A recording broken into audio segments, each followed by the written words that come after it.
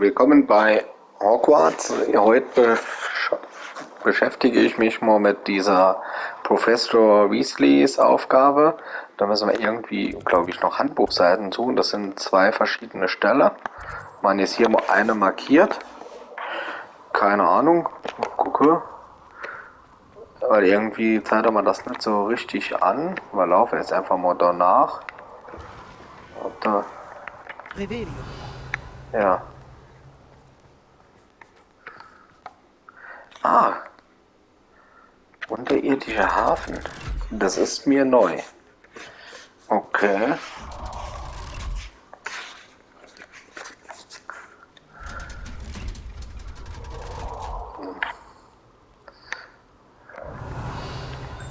Das ist Ach, also ja. der unterirdische Hafen.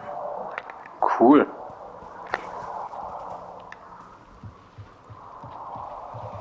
Oh, halt, äh unsichtbar machen. Da ist ja eine Kuckuck-Truhe. Ja, das ist ja cool. Da war ich noch gar nicht. Ey, das ist geil. Sehr schön. So.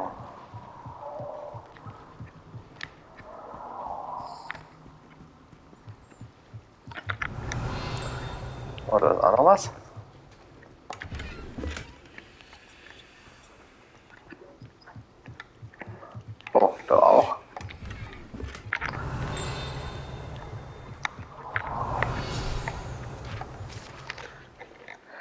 Tief unter dem Viadukthof befindet sich die Anlegestelle für die Boote, die die Erstklässler über den großen See nach Hogwarts bringen.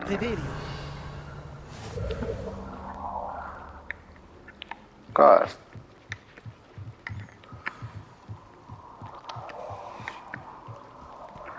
So, dann gehen wir mal nuff.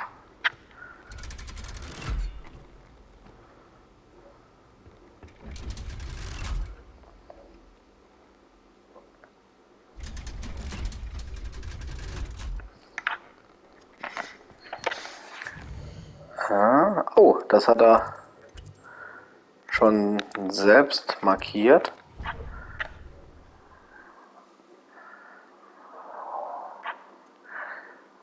Ich denke mal, das ist dann ein bisschen kürzer. Revelio.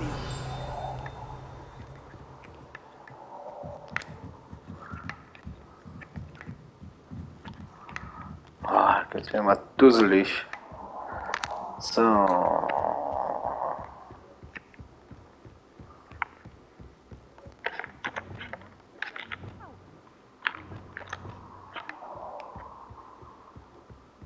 Revelio. Dieses Buch, um das mich Professor Weasley bat, sollte hier irgendwo sein.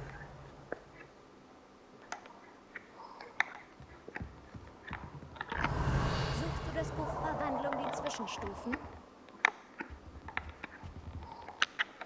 Professor Weasley hat mich um etwas äh, aus diesem Buch gebeten. Darf ich es haben? Ist das so? Ich gebe dir das Buch, wenn du so nett bist und ein paar meiner Quizfragen beantwortest. Oh ne. Quiz? Manche Leute nennen Wissenshappen Trivialitäten. Ich finde, kein Wissen ist trivial. Deshalb habe ich ein kleines Quiz erstellt. Nur zum Spaß. Es geht hauptsächlich um Überlieferungen der Zaubererwelt. Niemand sonst will es versuchen, egal wie oft ich frage. Alle sagen, sie haben mit den Schulaufgaben genug zu tun. Oh, sie legen nicht so viel Wert auf Wissen wie ich. Du bist doch sicher interessiert. Ich fange auch mit ein paar meiner einfachsten Fragen an.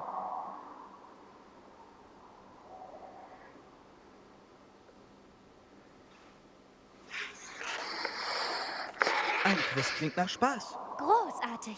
Nur noch ein paar Fragen und dann gebe ich dir das Buch. Fangen wir an.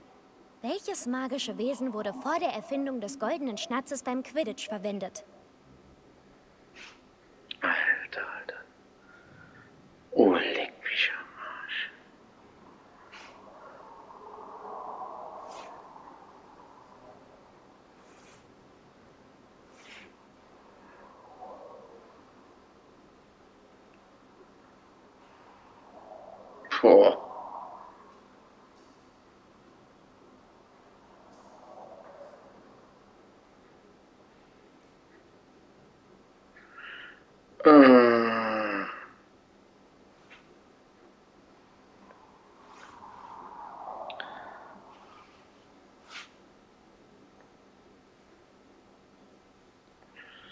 Ja, ich weiß es nicht.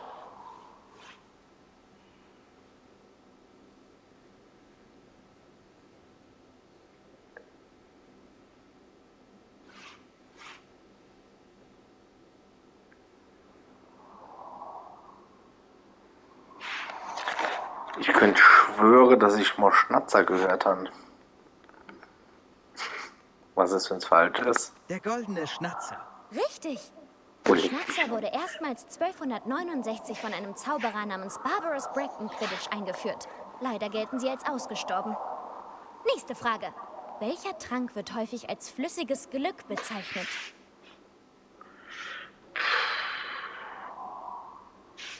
Äh.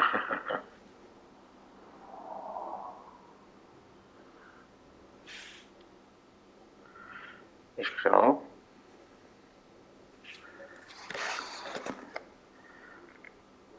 Also ohne die habe ich jetzt, muss ich ehrlich sagen, gar nicht gehört. Das könnte ich wohl gar nicht schon gehört. Felix Felicis. Gut gemacht. Da er dem Trinkenden vorübergehend Glück bringt, ist Felix Felicis bei allen organisierten Wettbewerben verboten. Um welche magischen Artefakte geht es im Märchen von den drei Brüdern?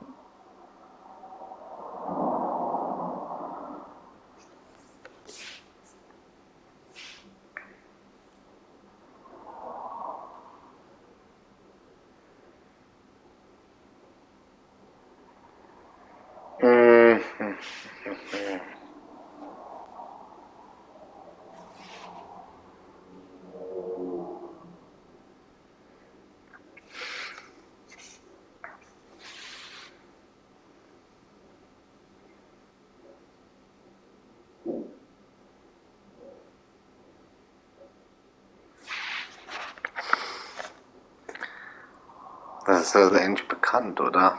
Das kann doch. Boah, yeah. ist peinlich. Ich bin zwar so Harry Potter, gucke ich, aber Heiligtümer des Todes kommt. Heiligtümer des Todes. Richtig. Laut Beadle dem Baden bestehen die Heiligtümer des Todes aus dem Elderstab, dem Stein der Auferstehung und dem Tarnumhang. Welcher Ball im Quidditch ist der größte?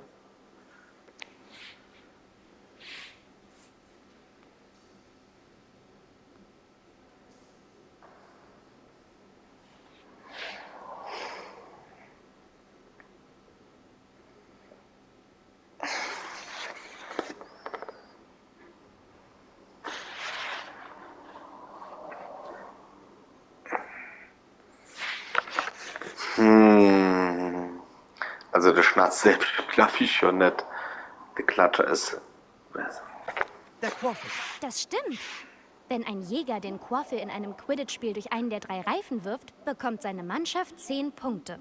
Wahr oder falsch? Der Vielsafttrank erlaubt es, die Spezies zu wechseln. Nee. Oder?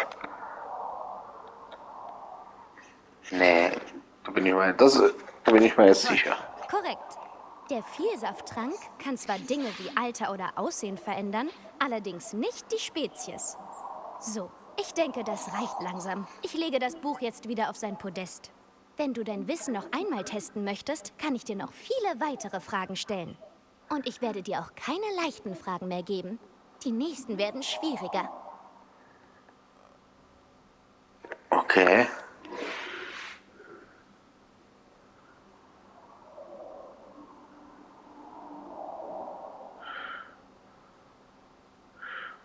Wissen wir was? Machen wir gerade weiter, oder? Ich möchte mehr Fragen beantworten.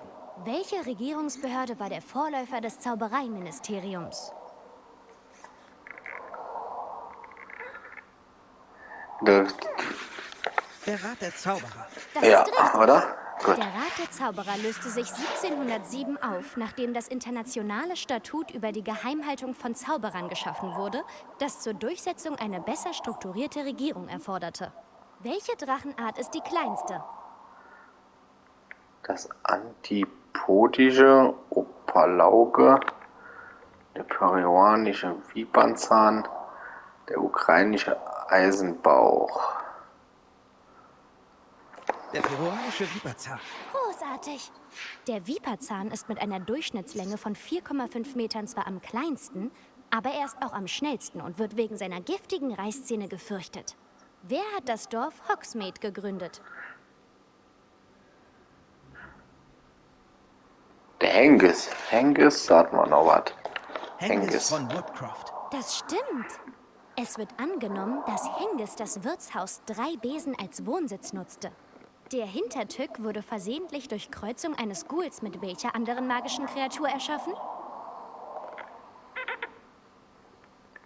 Runenspur, der Deepfold. Ein Demigeist. Ja, der Hintertück kann sich unsichtbar machen, aber die, die ihn gesehen haben, beschreiben ihn als einen großen, dünnen Affen mit silbernem Haar. Mit welchem Zauberspruch lässt sich ein Letifold abwehren? Patronus, oder? Ja. Der Patronus-Zauber. Gut gemacht. Der einzige bekannte Überlebende eines Letifold-Angriffs war ein Zauberer namens Flavius Belby, der damals in Papua-Neuguinea Urlaub machte. Von wem stammt das Gesetz der elementaren Transfiguration? Evangeline Orpington, Laverne de Montmorency.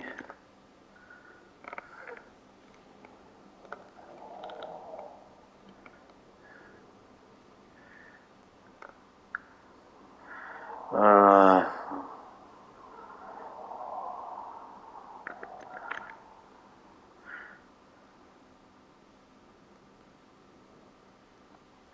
Gamp. Genau. boah, ich der so da mal wichtigsten gerade. Hilfe geholt. Ich aber nicht gewusst, keine Ahnung, wo verschenkt ich. kann. Wie lautet die Übersetzung des Mottos von Hogwarts?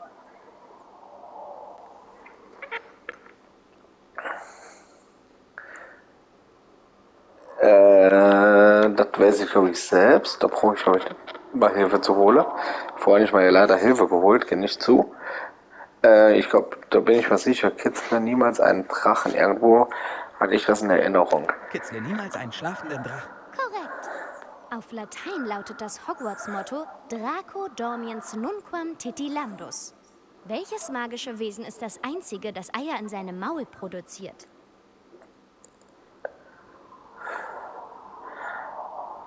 Die Basilisk nicht. Die Aschwinderinnen auch nicht. Da bin ich mir sicher. Da kannst du ja eigentlich fast nur der Ohne sein. Ich weiß auch nicht, was das ist. Die Runespore. Das stimmt. Parselmündern zufolge hat jeder der drei Köpfe der Runespore eine andere Funktion. Der linke Kopf ist der Planer, der mittlere ist der Träumer und der rechte ist der Kritiker. Wo befindet sich die Ilvermorny-Schule für Hexerei und Zauberei?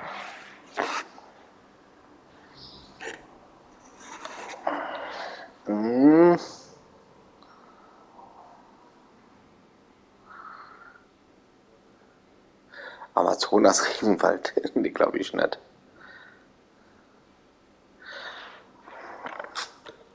Ich hab's gefunden, ich hab Hilfe geholt. Ich wusste es nicht. gemacht. Die amerikanische Schule wurde im 17. Jahrhundert von Isolde Sayre und James Stewart gegründet. Was ist der mächtigste Liebestrank, den die Zaubererwelt kennt? Oder irgendwas mit Amor. Ja, Amorteni. Kann's bestimmt nur. Amortensia. Das ist die Antwort. Amortensia riecht für jede Person anders, je nachdem, was sie attraktiv findet. Zum Beispiel staubige Bucheinbände oder... Hast du Interesse, mit der nächsten Runde weiterzumachen? Das sind meine schwierigsten Fragen.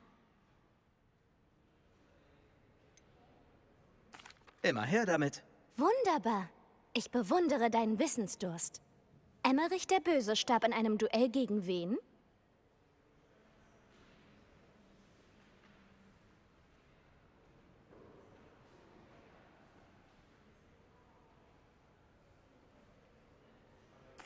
Egbert der Ungeheuerliche. Das stimmt. Emmerich erlangte Bekanntheit, weil er im Mittelalter Dörfer in Südengland terrorisierte, als er der Meister des Elderstabs war. Welches Faul begeht ein Jäger, wenn er den Quaffel beim Durchqueren des Tores in der Hand hält?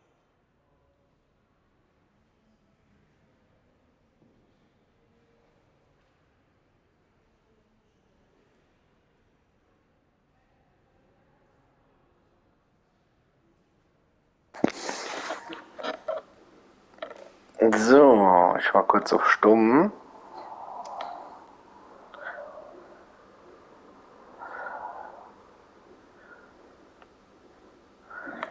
Hm, Ich gebe zu, ich habe da auch nochmal Hilfe. Das stimmt. Keilen ist das absichtliche Zusammenstoßen mit einem Spieler. Stutschen ist, wenn zwei Jäger den Hüter der anderen Mannschaft von den Toren wegstoßen, damit ein dritter Jäger ein Tor machen kann. Der Aber Respekt, wenn das da jemand alles selber weiß. Gut, ja, ungewöhnliche richtiger Freak. Ja, ich werde erst so. So. Der Biss eines Mal verursacht welche ungewöhnliche.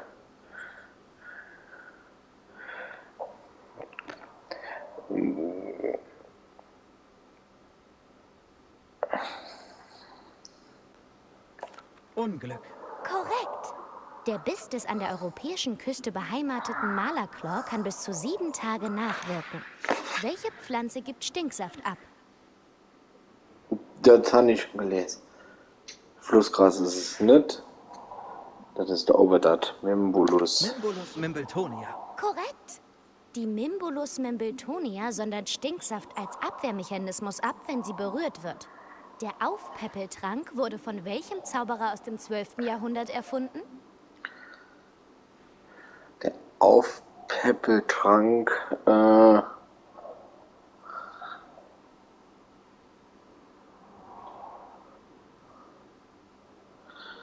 boah, das weiß ich auch nicht.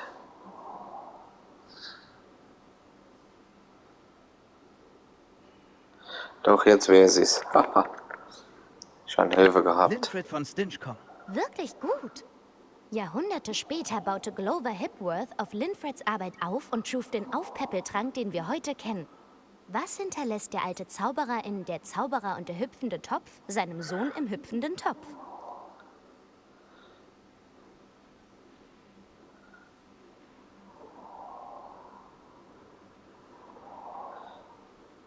Ne, der Stab war's nicht. Einen Pantoffel. Ja, richtig. Die Geschichte wurde von Beadle dem Baden erfunden, aber es gibt mehrere Versionen. Ich verrate nicht, wofür der Pantoffel war, falls du sie noch nicht kennst. In welcher Region der Welt ist der Snellygaster heimisch?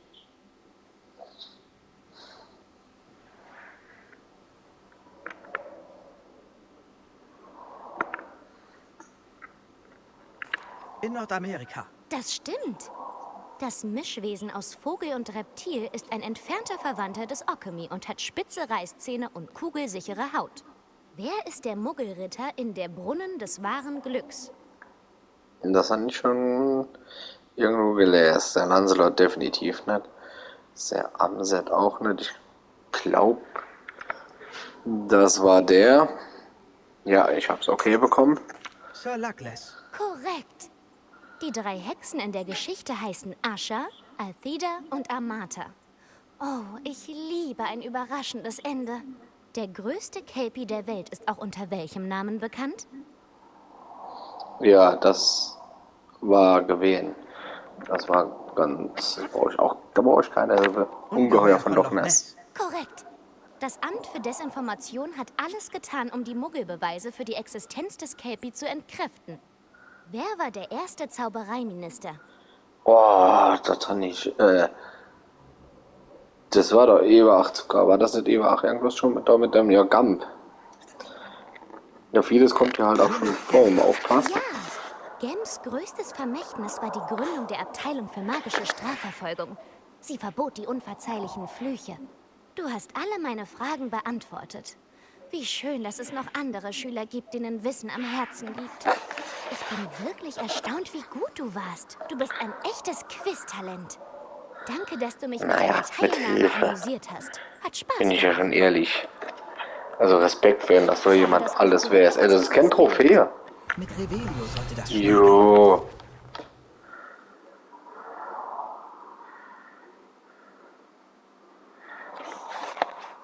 Professor Weasleys Aufgaben sind erledigt. Ich sollte zum Verwandlungsunterricht. Nee, Du hast nicht so eine Trophäe erwartet, ey. Das ist ja fies. Wenn man alle Fragen richtig beantwortet, ist es skandalös. Ehrlich.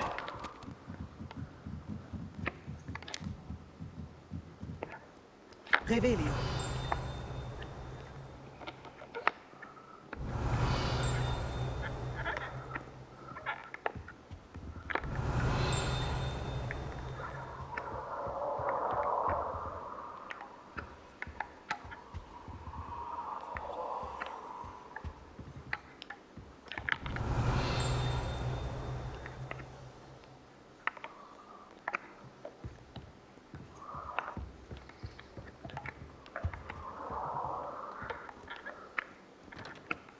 Revelio.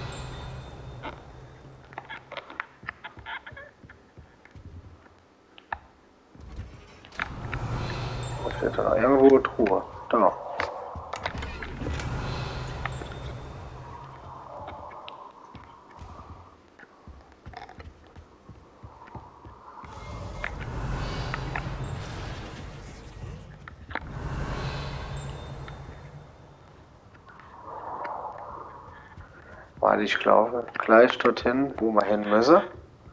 Ich will nur mal kurz gucken, da waren wir ja schon mal. Da sind noch ein paar Sachen.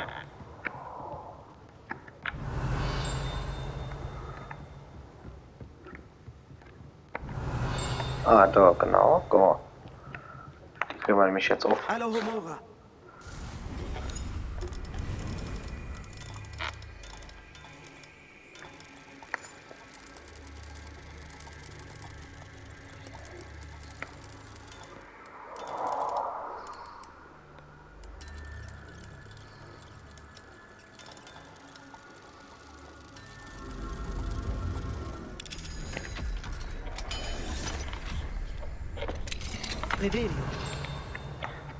So, jetzt gucken wir noch. Da unten ist, glaube ich, auch noch was.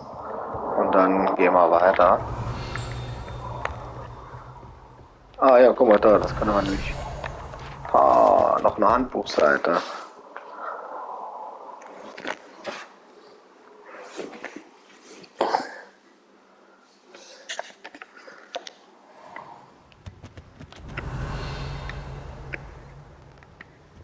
Okay, da ist auch noch eine Truhe. Und dahinter und dann glaube ich, sind wir eigentlich so ohne. So, schnell unsichtbar machen. Revelio. Was haben wir denn? Revelio. Oh. Perfekt. Der holen wir noch mit und dann auf. Du gehörst mir, Danny Geis. Da braucht man nämlich noch ein paar. Ich hoffe, sehr viel. Wie viel sind es noch? Steht's da gerade? Nee. Aber ich glaube, es sind noch so. Boah, an die 10 Stück.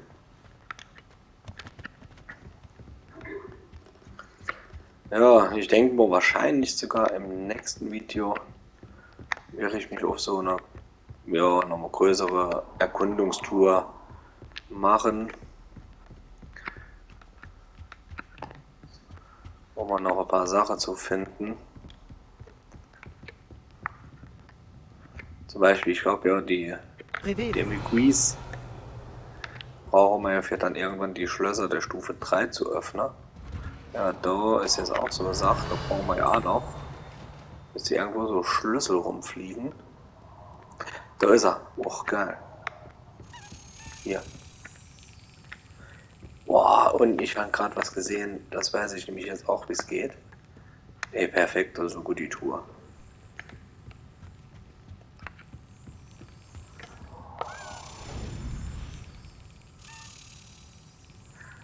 Pass auf, jetzt kommt gleich das Geilste. Ich habe mir das zwar schon beim letzten Mal gedacht, weil ich das schon gesehen habe, aber da hatte ich deine Zauber auch noch nicht. So, waren auch schon drin. Jetzt geht's, jetzt wird's geil. Jetzt wird's geil. Äh, wenn ich es nochmal finde, so, da. Hehe. Jetzt, wie kommen wir da hin, hin? Pass auf. Ja, ja. Aber muss Feuer ausgemacht. Ich weiß, ganz einfach, oh cool. Da oben ist noch so Spiegel. Ja. Ja. Ja, das war, da waren wir ja relativ am Anfang. Da wusste ich jetzt natürlich noch auch noch nicht, äh, ja. Da war der Zauber ja auch noch nicht da.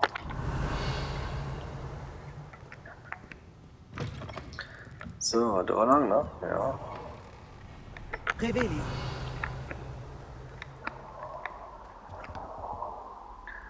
Und der Spiegel ist da irgendwo da hinten dran. Bin ich jetzt falsch gelaufen? Ach, da nur noch. So, hier, das ist jetzt auch bald fällig. Ich äh, weiß, wie es Rätsel geht. Scheint aber bis jetzt hier selbst noch nicht bekommen. Aber ja, wir machen das demnächst. Jetzt hat er auch einen Schatz. Kiste an. Okay. Ah, also wollen wir noch gucken.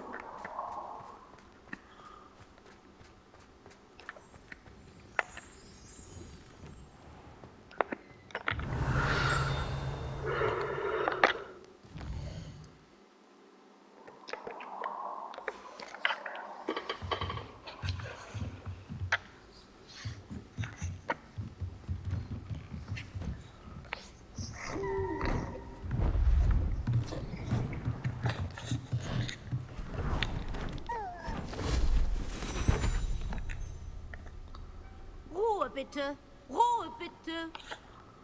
Verwandlung, das können Sie sicher nicht mehr hören, ist eine Wissenschaft, die ewiges Üben erfordert.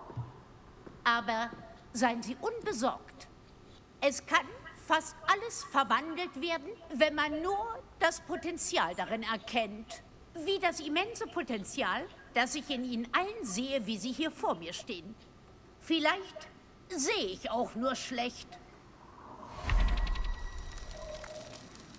Nun, Sie wissen, was zu tun ist.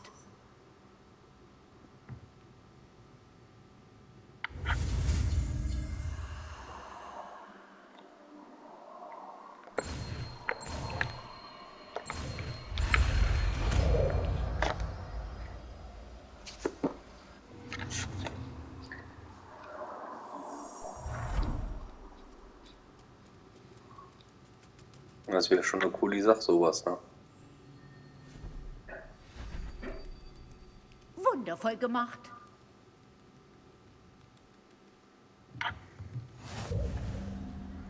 Oh, das war eine Trophäe. Der Meister der Zaubersprüche. Gut, es fehlt ja gar nicht mehr so viel, ne? Imperio. Und der noch. Aber Avada Kedavra. Genau, der kennt man. Jetzt. Boah, bin ich doof? Wo ist er dann? Ach, da oben rechts. Ist gut. Okay. Dann gehe ich nochmal da drauf mache. Jetzt bin ich mal gespannt. Ah, da ist auch noch was. Ja, und wo ich den gerade überall anwende. Ach so, ich bin noch gar nicht fertig. Sie wollten meinen bisherigen Fortschritt besprechen, Professor? Ja, Sie scheinen sich ohne Schwierigkeiten eingearbeitet zu haben. Und Sie haben in diesem Jahr hervorragende Leistungen gezeigt.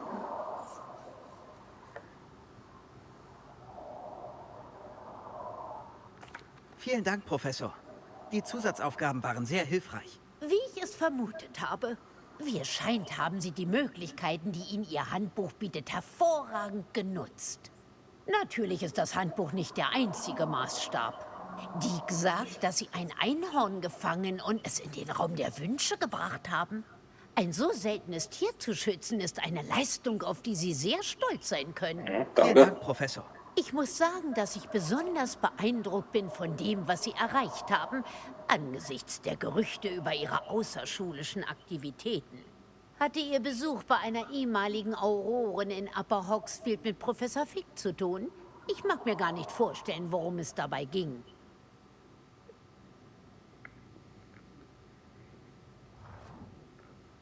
Professor Filk hat mich ermutigt, Erkundungen anzustellen, wenn ich kann, um äh, mein Handbuch zu vervollständigen. Verstehe. Ich bewundere Ihre Lernbegeisterung, aber denken Sie bitte daran, dass Ihre Klassenarbeit und Ihr Handbuch Sie umfassend unterrichten sollen. Das Jahr ist bald zu Ende und Sie wollen sich sicher gut auf Ihre ZAGs vorbereiten. Zuvor stelle ich aber mit einer Abschlussbeurteilung sicher, dass Sie bereit sind. Bis dahin, gut gemacht. Sie können gehen.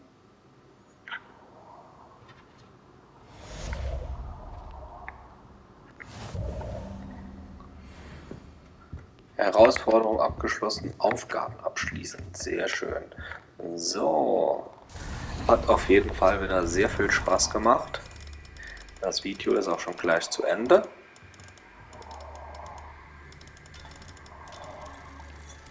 Und ich denke, das nächste Video wird, dass ich ein bisschen nochmal da rumfliege und ja, vielleicht auch mal von den Demi Grease Seit Feldkraft ist mir etwas über das Statuen finde. Treffen wir uns am Aussichtspunkt nördlich des verbotenen Waldes und ich erkläre es dir.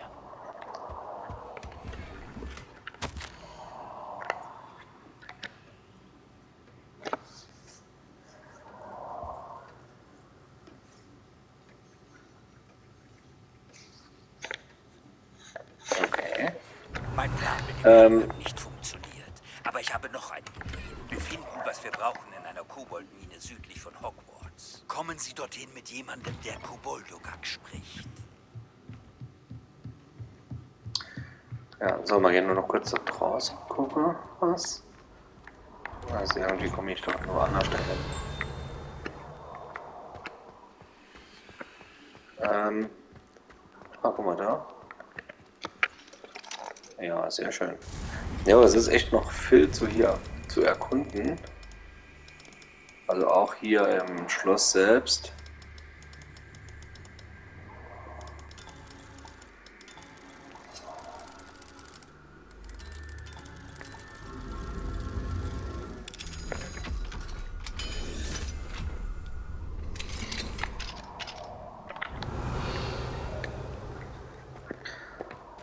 Okay, wo geht's da hin?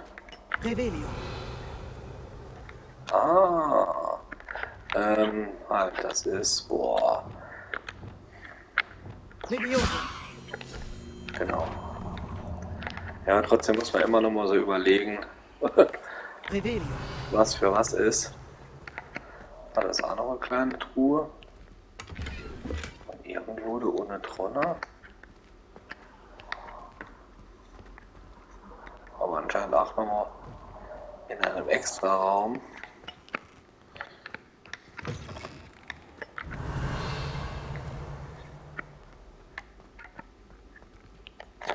Alohomora. Ja, kommt so langsam echt immer in mehr Sachen. Aber wie gesagt, es gibt noch Stufe 3, deswegen brauchen wir unbedingt noch Demigrease-Statuen.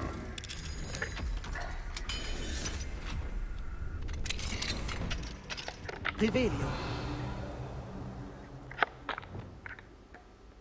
Confringo.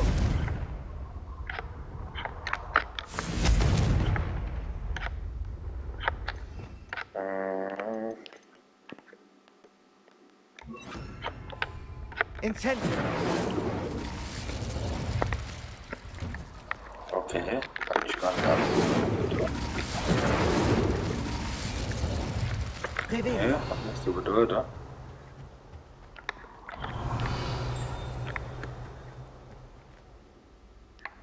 Oh, da ist ein Schmetterling.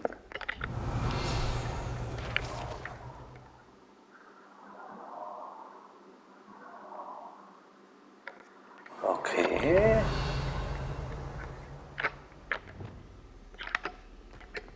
Accio. Revelio. Okay, okay, okay. Also ich Hallo, glaube, den Homora. Schon gesehen.